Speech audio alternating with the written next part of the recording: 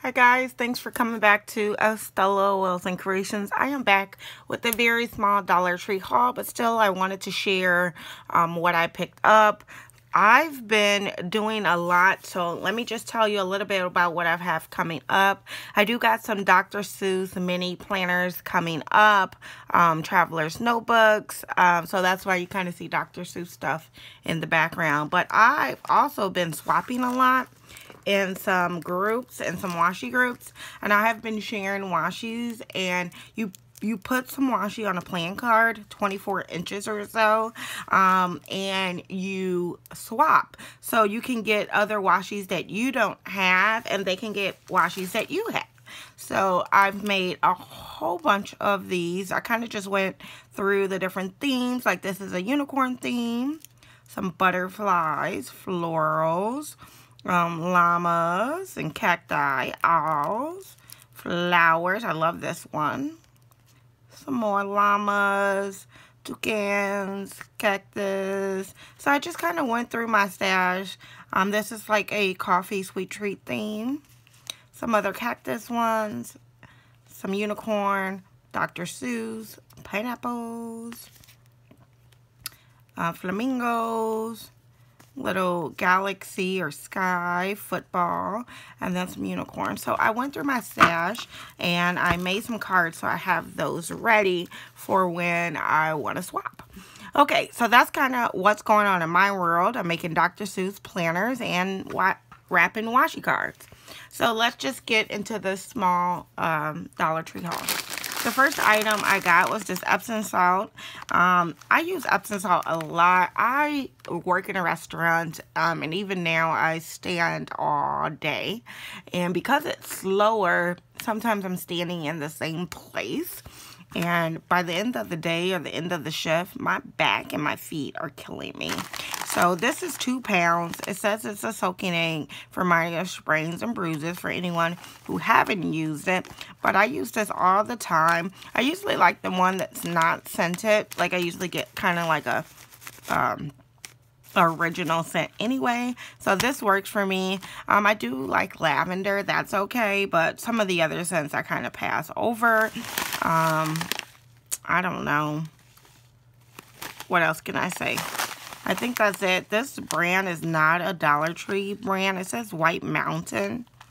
So for two pounds, I think this is good. This is bigger than their little bag that they get. Definitely more than the little jars that they have there. So I picked this up. Okay. The next item I got was the teaching tree item. It's shapes, decor, sheets. It's a turtle. Now, I got this because, you know, I guess I've been finding a lot of turtle stuff. I'm hopefully going to see if my niece wants one for something. I'm not really sure. Maybe when I give her all the rest of that, I'll laminate one. I'm not sure where she would put it, but I'm like, I don't know what I'm going to do with 36 of them, but this little guy is so cute. So maybe I have to do an animal theme planner or some project that I can use this little guy. But he was too cute to leave there, so I picked him up. Okay, now the next items are all 4th of July items, so let's just go. I found this flag, and it says Faith, Family, and Friends. Now, I need you guys to tell me how to keep the flags on the little long stick because my wind keeps unraveling and throwing it off. Do you put a rubber band on the end or how do you hang the flags from like if you have the yard pole that Dollar Tree sells? Because I have a Mickey and Minnie one and my Mickey and Minnie flag keep coming off. Um, but I might change it out to this one or put two in the yard for the summer. But it says Faith, Family, and Friends I love that doggy, love that flag, and love that truck. So I picked that one up. It's 12.5 by 18 inches. So, and that's the image that you get. It's rather cute.